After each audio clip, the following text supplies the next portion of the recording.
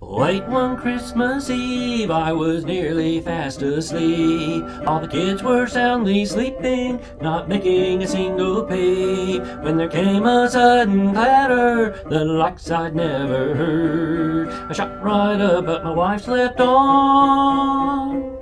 She never heard a single word. I jumped out of my bed, ran across the cold hard floor. My feet gave out from under me as I stepped out of the door. My head hit the sidewalk, causing it to split. I hurt from every body part, cause I slipped on reindeer poop.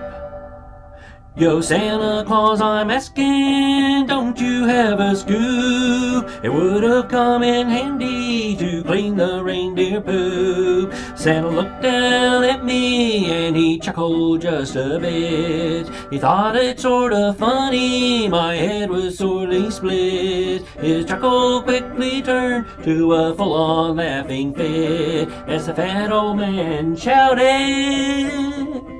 Ho ho holy shiitake mushrooms, that's gonna hurt a bit.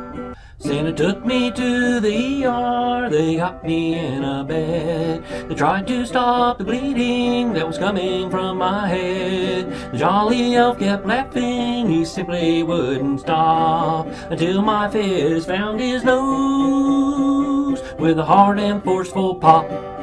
Then we both sat in the ER, looking worse for wear. When the doctor came to see us, he gave us both a stare. He held a shiny needle, said we both would need a stitch. All because of reindeer poop. Life's become a bear.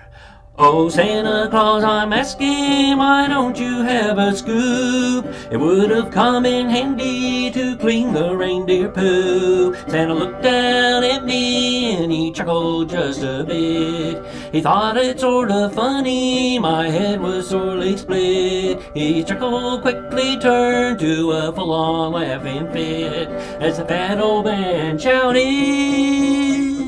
Ho ho holy shiitake mushrooms, that's gonna hurt a bit. I'm happy to let you know we shook hands and made our peace. But when Santa turned to walk out, he was stopped by the police. They said they had reports of droppings everywhere. He would have to clean up all the stuff from the reindeer's derrieres. I grabbed the plastic bag where the ER put my stuff. But when I pulled our shoes out, I began to hurl and huff. Essentially, my shoes were stuck in a sealed up plastic wrap. And there they stayed all covered in fermenting reindeer, well, crap.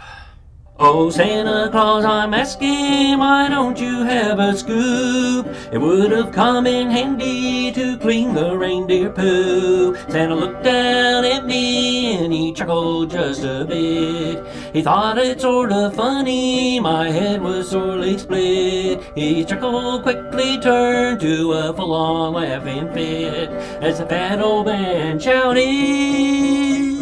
Ho ho holy shiitake mushrooms, that's gonna hurt a bit. That's gonna hurt a bit.